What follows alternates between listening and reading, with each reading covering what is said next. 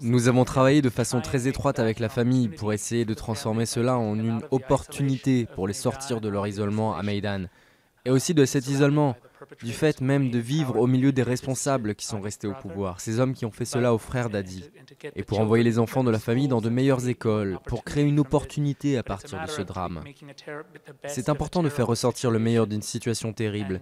Et bien sûr, ces deux choses, les anonymes au générique et le fait que la famille d'Adi doivent déménager, sont le signe que rien n'a vraiment changé en Indonésie. Ce film ne va pas nous permettre de guérir ma famille et moi, car ce qui a été fait ne peut être réparé. Mais pour mes enfants et les générations à venir, je pense que ça peut aider, oui.